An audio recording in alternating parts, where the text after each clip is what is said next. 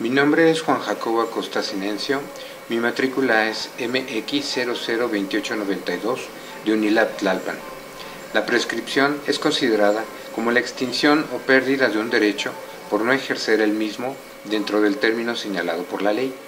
En el caso que nos ocupa, no se reclamó el derecho en el tiempo que contempla la Ley Federal de Trabajo en su artículo 519, donde se fija un término de dos años para la prescripción de las acciones de los trabajadores por riesgos de trabajo y de las acciones de los beneficiarios en caso de muerte del trabajador por riesgo del trabajo. Han transcurrido tres años. Por lo tanto, el derecho al reclamo prescribió.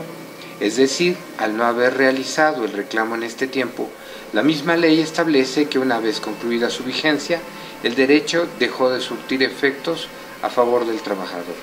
Muchas gracias.